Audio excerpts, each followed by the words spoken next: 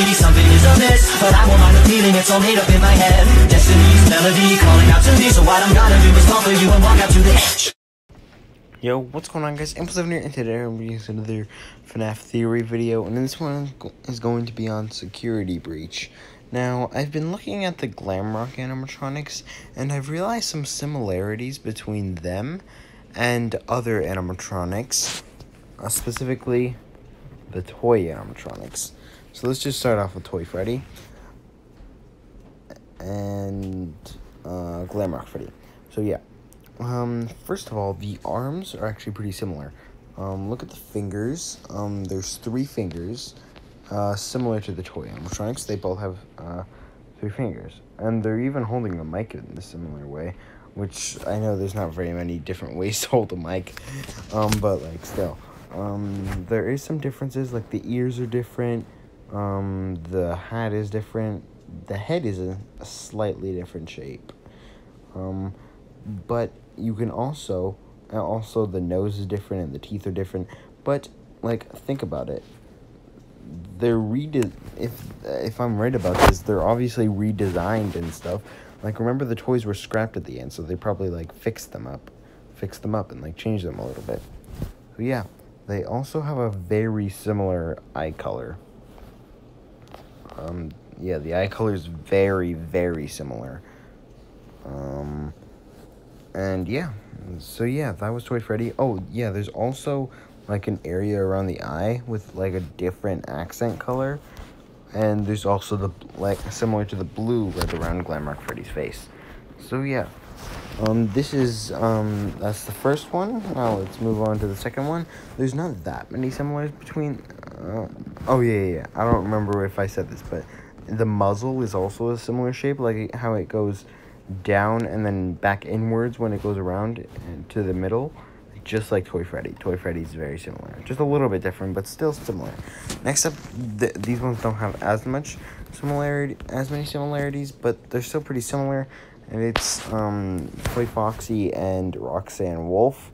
Um, first of all, the action figure for Roxanne Wolf was actually um, a reused model of the Toy Foxy action figure, or the Funtime Foxy, um, FNAF 2 Funtime Foxy.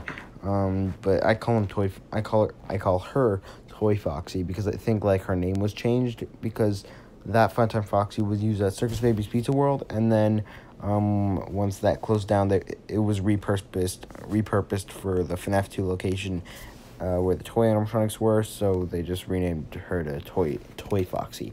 That's my theory. Uh, I made a whole theory on the um, uh, sister location animatronics and Mangle. Um, that was my first animatronic origins episode. Go check that out if you want. Um, so the ears are a little bit different. Um, but but also um, the um, like the side of the face is is um, also a little bit different. Kind of looks like Foxy's though, but if you look back at like if you look at the full model of Mangle, you can see that the um, Mangles also looks weird, looks similar. Like it goes outwards, and then it and then when you look at it from a side view, it goes back down and then outwards again, kind of like Foxy's FNAF one model. So they're pretty similar anyway. Um, I also think Roxanne could be sister location for that Foxy because the head shape is actually more similar to that one. But I don't know. Um, the lipstick is actually is also really similar to to FNAF sister location Phantom Foxy. So I think it could be either of these. Um, the eye color is also really similar on these again on this again. And um, yeah, so let's move on to the final one, which is Glamrock Chica and Toy Chica. And I think the these ones, this is the one that has like probably the most similarities. Um, maybe, um, maybe, um, maybe Freddy does, but I don't know. Um, first of all, I think, um, the top of her head where that thing is looks like a tropical beach, um, coconut tree or whatever, or palm tree or whatever. But yeah, um, I think they could have just like rearranged that and moved it like off to the side. If you look closely, there's three um little branches or something there. Three little pieces of it, and there's also three here. Um, the eye color is also blue. Um, Glamrock Chica is, all, is like a darker blue, but it's still blue. Um, there's also something um, pretty similar um, that's that's um, right there. The gap between the feet, which reappears on Glamrock Chica, like exactly. Um, and yeah, the bib is like kind of overlaying the rest of her uh, boobs. Sorry. Um, to be honest, though, she does have boobs. Why did Scott do that? Um, even the arms are in a similar pose.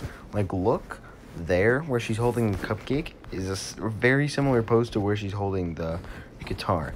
Anyway, the feet are also similar. You see how there's three toes there, and there's three toes on here.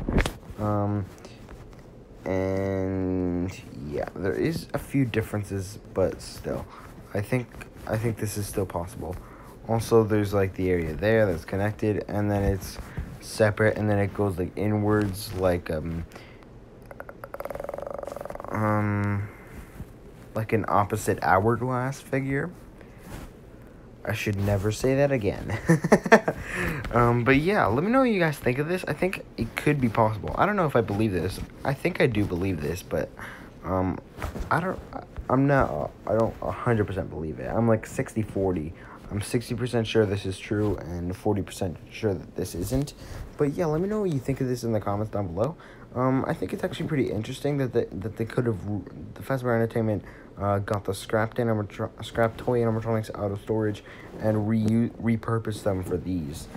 Um, but yeah, let me know what you think about this, and yeah, I'll see you guys in the next video. Impulse 7 out. Peace.